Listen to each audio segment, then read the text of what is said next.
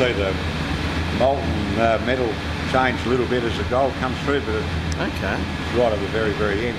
We'll only fill up the first one Ah, with gold. well. Sometimes it's a bit hard to pick it.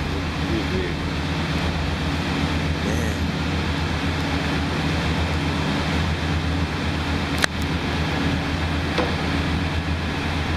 uh, it comes now. See, see how it changes colour?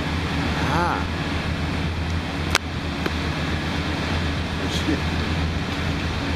Gee. Pretty one all gold, eh? cool.